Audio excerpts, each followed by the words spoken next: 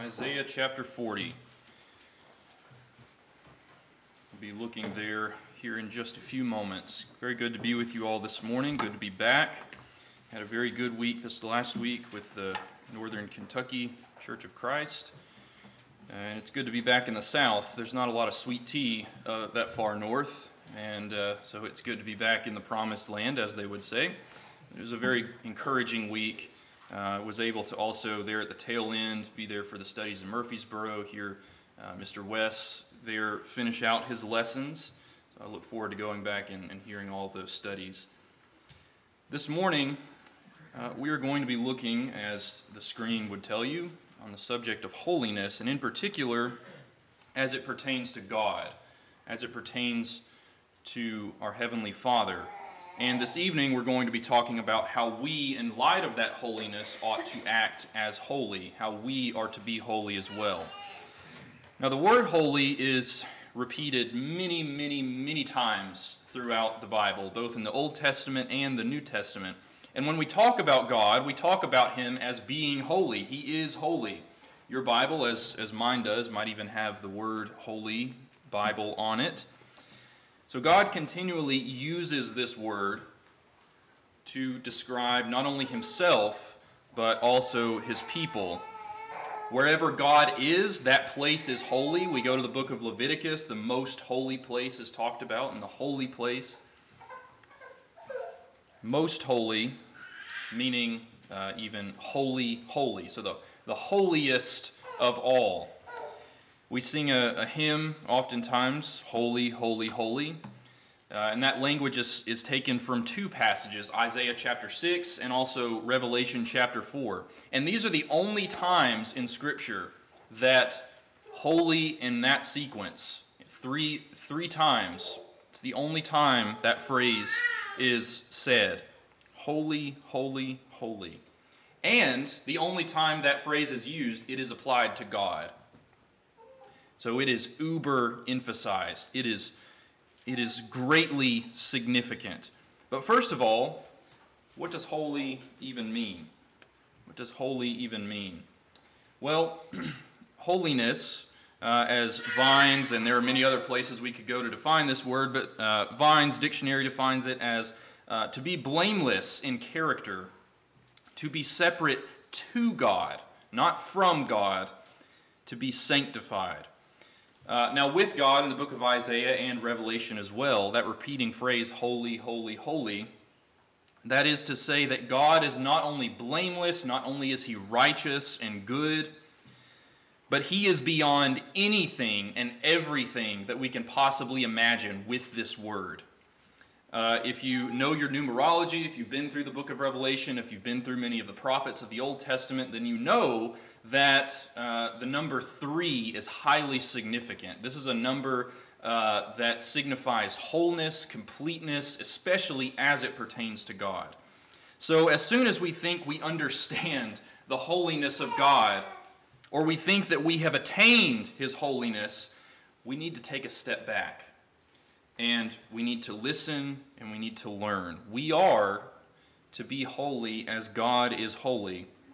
But as Paul says, we press on towards the upward call of God. We continue to improve, we continue to grow, we, we continue to learn. So, looking at God in light of his holiness, God is holy in power and he is holy in wisdom. If you're there in Isaiah chapter 40, go ahead and read with me verse 12. Who has measured the waters in the hollow of his hand? measured heaven with a span, and calculated the dust of the earth in a measure, weighed the mountains in scales, and the hills in a balance. So, here in this verse, we see that God's power is impossible to measure, it is immeasurable. So many points in Scripture, especially in the book of Isaiah, talk about the hand of God. The hand of God uh, does this, or the hand of God does that. And so, with that, it infers that God is heavily involved in whatever is being talked about. It is active. And not only that, but his hand accomplishes great and awesome things. Here in verse 12 in Isaiah 40, talks about water uh, in the hollow of the hand. Uh, this is a, a, diagram of uh, the Mariana Trench, which is in the Pacific Ocean. Uh, it's seven miles deep at its lowest and at its deepest point. And, that, and if you want to uh, take that even further, that is deeper than Mount Everest is tall. This is a very deep trench. And I don't know about you. We talk about space, the final frontier. Some people are scared of you know things that are out there and whatnot. I'm I'm more scared of the ocean than most things because there are things down there that we still haven't discovered. We continue to discover them. And you talk about going seven miles deep into uh, into the ocean. This is this is massively deep. And so God not only holds those waters in his hand, but he holds all of them in his hand, all of the waters. Coming back to Isaiah, he's measured the heavens with a span. Now, if you look at the word span, that is literally just the distance between your thumb and your pinky. And so you, you come to God, if you were to ask God how vast the heavens were, how big the sky was, God would simply just hold out his hand and say, It's about this big. This is holiness unmatched unfathomable for us to imagine. Now, you put this, this word in the context of not only uh, the sky, but also space. We live on one planet amongst eight, poor Pluto, not considered one anymore. We've been to the moon several times as humankind. We talk about uh, life on Earth and populating life on Earth. So many of these private companies talk about doing that. And we say, look at us. Look at what we as mankind have been able to accomplish. And yet, that is a short distance compared to the enormity of not only this solar system, but every other galaxy. There are billions of stars in this galaxy alone. This, uh, when I first uh, looked at this photo, you think, uh, oh, that's some fireflies. These are not only stars, but these are hundreds, if not thousands, of galaxies taken by the Hubble telescope just a few years ago. And this is just one frame that it took. This is not to say all the other uh, photographic images that it took on this particular journey. So we are one galaxy among an innumerable amount. We continue to discover these galaxies. Scientists have calculated that if you span the distance of each galaxy put together, it would be upwards of 90 billion light years across. As I've heard Paul Earnhart talk about within the context of these types of things, he, he says this is like a peanut in God's pocket. This is nothing to him. He created all that we see around us and beyond with just a few words. He could have done it with one word, he could have done it with the snap of his fingers, he could have done it any way he wanted. His power is immense, it is holy, it is separate, it is far beyond anything else. Coming back to Isaiah chapter 40 says there that he calculated the dust of the earth in a measure. This is the longest beach in the world in Praia de Cassino Beach that stretches uh, from the southern border of Brazil all the way to the Rio Grande, which is about 130 miles uh, if you stretch that out to its farthest length. We cannot number the sand on just even one beach. Scientists have tried to do that. They've, they've estimated and calculated that 7.5 sextillion sand grains populate the earth. And if you want to know what that looks like, that's 75 with 17 zeros following it. This is not to mention, even if we include talking about coming back to the passage, calculated the dust of the earth in a measure. That's not to mention the dust that we as mankind were created out of, and to dust we shall return. We cannot fathom this. And yet God says that He has calculated it in a measure. We also see here what's described that He weighed the mountains in scales and the hills in a balance. Go over to, uh, in the same chapter, chapter 40, in verses 22 and 26. We'll get to verses 13 and 14 here in a moment. Verses 22 and 26. It is he who sits above the circle of the earth, and its inhabitants are like grasshoppers, who stretches out the heaven like a curtain and spreads them out like a tent to dwell in. Come down to verse uh, 26. Lift up your eyes on high and see who has created these things, who brings out their host by number. He calls them all by name, by the greatness of his might and the strength of his power. Not one is missing. This is power beyond comprehension, beyond understanding. So then we come down uh, or back to verses 13 and 14. Who has directed the Spirit of the Lord? Or as his counselor has taught him? With whom did he take counsel, and who instructed him and taught him in the path of justice? who taught him knowledge and showed him the way of understanding. God's knowledge and his wisdom are also beyond our comprehension. I'm currently 26.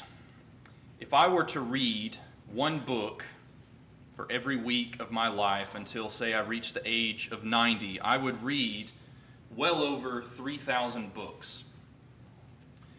The Library of Congress which is one of the largest libraries in the world, houses over 51 million books in its physical catalog. So by age 90, I will have only read about 0.005% of all of those books. God knows it all. Not only we talk about 51 million books cataloged in that library, that's just one library. God does not only know it, He created knowledge, He created wisdom. He did not have to take counsel, He did not have to learn this. He is the one from whom knowledge and wisdom originates. And not only does He know what's in all of those books, He knows everything there is to know about you and he knows everything there is to know about me. He knows the hairs on your head, he knows all the freckles on your face, he knows your thoughts, he knows your intentions, your deepest secrets. If we go over to Romans chapter 11, if you want to put a marker there in Isaiah, Romans chapter 11, look with me there in verse 33. Romans 11, verse 33. Oh, the depth of the riches, both of the wisdom and knowledge of God. How unsearchable are his judgments, and his ways past finding out. For who has known the mind of the Lord, or who has become his counselor? This is taken directly from Isaiah 40, verse 13. Or who has uh, first given to him, and it shall be repaid to him? For of him and through him and to him are all things, to whom be glory forever. Amen. We are not dealing with anything from man. We are dealing with the one who created man. And so often, man will try to make God what they want him to be, to suit their needs. They place limitations on God or they call him outdated that he's old news, that God got this one wrong. However, we know the verse, Isaiah 55 and verse 8 My thoughts are not your thoughts, neither are my ways your ways, declares the Lord. God is holy in that he is so far removed from our ways that they are past finding out, and that distance continues to get wider and wider, to gain distance so we need to check our pride at the door before we approach God and realize who it is we are talking to, who it is we are approaching. He is holy in power and in wisdom. Well, God is also holy in righteousness. God is holy in righteousness. We are not worthy to stand before God. Coming back to the book of Isaiah, if you'll turn now over to Isaiah chapter 6, this is perhaps one of the more famous passages in all of the book of Isaiah. As Isaiah is first called here in this chapter, Look with me there in Isaiah chapter 6 in verse 1. In the year that King Uzziah died, I saw the Lord sitting on a throne, high and lifted up, and the train of his robe filled the temple. Above it stood seraphim. Each one had six wings. With two he covered his face, with two he covered his feet, and with two he flew. And one cried to another and said, Holy, holy, holy is the Lord of hosts. The whole earth is full of his glory. And the posts of the door were shaken by the voice of him who cried out, and the house was filled with smoke. So I said, Woe is me, for I am undone, because I am a man of unclean lips, and I dwell in the midst of a people of unclean lips. For my eyes have seen the King, the Lord of hosts. So we see here in Isaiah 6, the Lord is sitting on a throne where his robe fills the whole temple. The seraphim covered their faces before the Lord because they are not worthy even. And Isaiah says, Woe is me, I am undone. What we are doing in this assembly this morning, it is a privilege. It is not something where we simply exercise the mind. It is not something to puff ourselves up. It's not for our own enjoyment. It's not for our own pleasure. It's not to make ourselves look good. This is for God and we are not worthy. When we present ourselves to God with an honest, with an open heart, as we already looked in Isaiah chapter 40, we are as grasshoppers. And, and God is the proverbial elephant in the room. But that doesn't even begin to cover it. As soon as we affirm that we are worthy or maybe even more worthy than God, we condemn ourselves. We go over to the book of Leviticus, in Leviticus chapter 10, one of the only instances in that whole book where we have narrative. You remember there, uh, in Leviticus chapter 10, we have Nadab and Abihu. And what did Nadab and Abihu do? They go forward in great excitement, it would seem, after the tabernacle has been filled with the glory of the Lord and yet they offer strange fire. They offer fire that is not authorized, has not been authorized by the Lord. And so what happens? They are consumed with fire from the Lord. People say, It's what I prefer, it's what I like, it's what makes me feel good. It's all about my experience, and I don't, I don't really care what that scripture says. I do like this over here, but I don't like this. The Lord says many times throughout the prophets that obedience is better than sacrifice. But if the Lord commands sacrifice, then we ought to obey that command, right? If we live our lives in accordance to God, that is a sweet, that is a swelling, uh, sweet smelling aroma to God, as Philippians chapter 4 in verse 8 tells us. But not only do we need to obey, as the prophets talk about so many times, the book of Malachi talks about this, we need to obey with the right attitude, the right motivation, the right kind of heart. And saying that we don't want to do it God's way, but that God should accept it anyway, is so hypocritical. One of the first conversations uh, that I had with Mr. Wes, um, I'm talking about coming, coming here, and this was a totally different conversation, not at all with this topic, but I, I think it applies so well. He, he told a story, a, a, you know, a fake story, made up story about if you go to your favorite restaurant and it's under new management, you don't really know what to expect. Well, the new manager comes over to your table he has a dirty diaper in his hand, just about the dirtiest diaper you can imagine. He rubs that in your face for about five minutes, puts it down, and then you decide to walk up and leave. And the manager says, Wait, where are you going? You turn around and you say, Well, it's certainly not here. This is unacceptable. This is filthy. This is disgusting. Why, why would I accept this? Why would, it, why would I accept this service from you? God's ways are holy, and we are to be holy as He is. And that means trusting Him and gladly accepting what He has given us and gladly doing what He has told us to do. 1 John chapter 1 uh, in verses 5 through 7 talk about this idea of God being light. God is light, and in him is no darkness at all. If we say that we have fellowship with him and walk in darkness, we lie and do not practice the truth. God, in his nature, in his holiness, cannot have anything to do with darkness, with sin. So for us to then bring him something that is not holy, and us expecting him to accept it is, is so unreasonable. And it is, with, it is without reason. He cannot accept it. He will not accept it.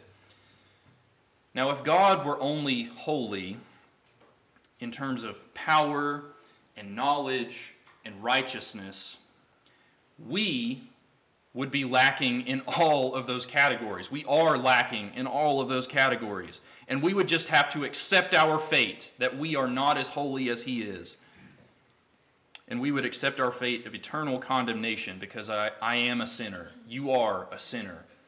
There's nothing else. But fortunately, that is not all that God's holiness brings because God is also holy in grace and in mercy. You come back to Isaiah chapter 40. Look with me there in verses uh, 10 and 11. Isaiah 40, verses 10 and 11. Behold, the Lord God shall, uh, shall come with a strong hand, and his arm shall rule for him. Behold, his reward is with him, and his work before him. He will feed his flock like a shepherd. He will gather the lambs with his arm. You go back to the very first chapter of Isaiah, in Isaiah chapter 1, in verses 2 through 4. Isaiah 1 in verse 2 Hear, O heavens, and give ear, O earth, for the Lord has spoken. I have nourished and brought up children, and they have rebelled against me. The ox knows its owner, and the donkey its master's crib, but Israel does not know my people do not consider. Alas, sinful nation, a people laden with iniquity, a brood of evildoers, children who are corrupters. They have forsaken the Lord. They have provoked to anger the Holy One of Israel. They have turned away backward. Verse 3 is somewhat of a comical description of Israel here, but a sad one as well. The ox and the donkey, they both know their master. These dumb, stupid animals. And yet Israel does not know their own master. Well, then we come uh, to verses 16 through 18 of the same chapter. Wash yourselves, make yourselves clean, put away the evil of your doings from before my eyes. Cease to do evil, learn to do good, seek justice, rebuke the oppressor, defend the fatherless, plead for the widow.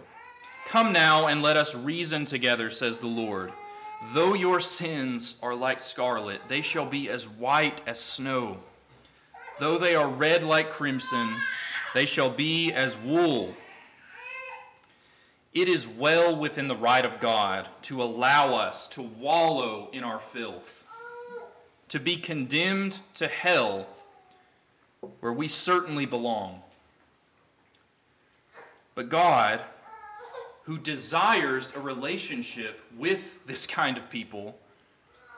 God, who knows all and remembers every word that we've ever said, remembers every word that He has ever given, He still wants us to pray to Him, to know His words that He has preserved for us.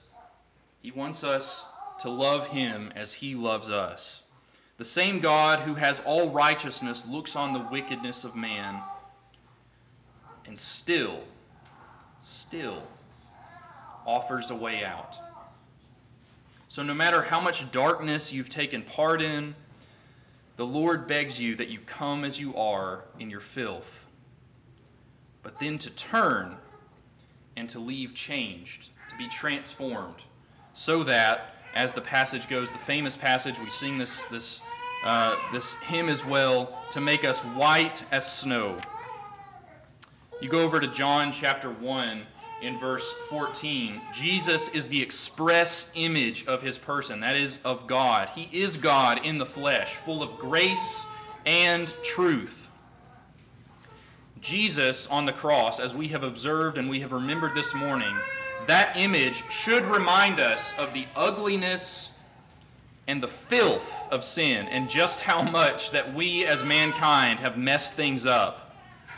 But what that scene should also bring to mind is that God is holy in grace and mercy, and that it was fully brought to man. God giving us breath at all is mercy. The fact that He allows us to voice our cares, to voice our worries, to give us or to allow us to petition Him in prayer, that is mercy yet still. Now, on the other side, he has given time to all men everywhere to repent, even to those who willfully rebel against him. We're going through the divided kingdom, the, the tail end of the divided kingdom right now in the teenage class, and what, what do all the prophets give? What is their message? Judgment, but also repentance. He wants them to repent. He wants us to repent. He has given time. That is mercy. That is mercy that is so unmatched in the world. So God is holy, He is separate from all others because He exercises grace and mercy perfectly. Now, we've talked about the immense nature of space, the, the books that we might read over our lifetime, all the books that are in the world. There are over 7.8 billion people in the world, still growing and God cares for each one. Not only does He care for each one, but He can think about each one individually at the same time, and He knows all there is to know about each one. So He knows each one of us intimately, personally. Not that He hopes to catch us in some sin whenever we fall and then to stamp our one way ticket to hell, but He cares for us. He knows us. 7.8 billion people in the world, galaxies that span 90 billion light years across, life on Mars, life on these other planets. There are many that would look at all of those facts and those, those things that we continue to discover and say, surely we are not the only sentient beings in the universe.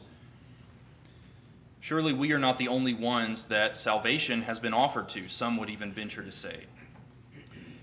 I think a more powerful truth is that despite everything that God has created, in this tiny speck in the universe, He has offered salvation to us, His special creation, made in His image.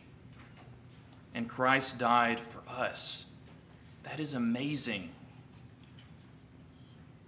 May we never forget it. May we never forget how small we are and how holy God is. And may we, in our humble and lowly state, observe ourselves as those grasshoppers and say, I need a Savior. I can't do it on my own. And I am not alone. Psalm 139 talks about uh, this idea of you formed my inward parts. I am fearfully and wonderfully made. God also says, he is not willing that any should perish, but that all should come to repentance. He has shown mercy that He has not destroyed each one of us. He's given us grace in that He gave us the gift of His Son, which we did not deserve, which we do not deserve. And so we ought to show Him, in turn, grace upon grace. Those things have been shown. Mercy and grace has been shown and we did not do anything to achieve it. We did not do anything to earn it. We did not do it. God carried the whole load, and He offered the gift of His Son freely to us. However, we still have to accept that gift, we still have to do something with it. God wants sons, that is, He wants heirs that would receive the inheritance, that would receive the promise, like unto the only begotten Son and we are joint heirs with him. that inheritance was lost in the garden. And ever since then, God has been trying to get his creation to wake up, to realize that he still loves us, that he still wants us to come back. And so mankind is fortunate that God did not start over, like so many times that he said he was going to. We are so lucky that that time has not come yet. There will come a day when we will no longer be here. So start that relationship now. Well, God sent his Son not only that we might be forgiven, but that we might be changed, that we might be transformed, that we ourselves may become holy. We'll flesh this point more uh, out this evening as well. Coming back to Isaiah chapter 6. After Isaiah's confession to God, God offers up uh, an invitation, as it were. Isaiah 6, in verse 6 Then one of the seraphim flew to me, having in his hand a live coal, which he had taken with the tongs from the altar, he touched my mouth with it, and said, Behold, this has touched your lips, your iniquity is taken away and your sin purged. And then we'll continue on to that uh, invitation, as it were, here in verse 8. But uh, here, just briefly, we see here this seraphim. He takes this hot coal, he presses it to Isaiah's mouth. He says, Your iniquity is taken away. So we come to this passage and we say, Is it that easy? Do we not have to do anything else than that? Well, if you look at the language of uh, what Isaiah does after this, it's not only pressed to his lips, and that, that is that uh, what the seraphim says there of your iniquity is taken away, Isaiah makes a confession. And in that, he observed that he was wrong, that he was sinful. And he wanted to do right by changing. And that change of heart is what God is looking for. And so it's not that it's not that after that initial change of heart, Isaiah was good to go. He never had to do anything else after that. Once saved, always saved, right? But we continued on. Baptism is a first step in saying, in many ways, to God, I am committed wholly and completely to you, O King. Whatever you say, I will do.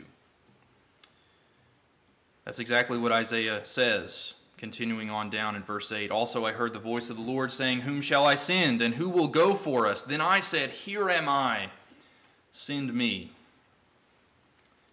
This is a lifelong process, this is a transformation.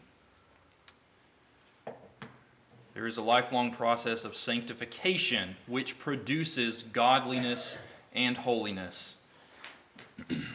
now, like Isaiah, not everyone will share in that same heavenly vision. Not everyone will listen to reason. Not everyone will look at what we are doing here today as for God.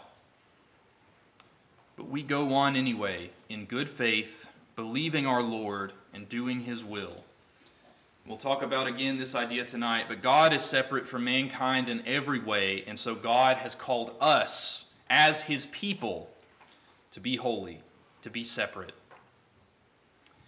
If you are here this morning, you find yourself not holy as God is holy. You find yourself as that grasshopper and God as the proverbial elephant, and you think there is no hope for you, again, God has offered that hope. His Son has died for us. You have the chance for your sins to be washed away in the waters of baptism. If you are in Christ, you have strayed from the path, and you have been reminded of those things that God is. God is wrathful, He is the great judge, but He is also full of grace and mercy. And we will help you in that. If you have a need this morning, won't you come as we stand and as we sing?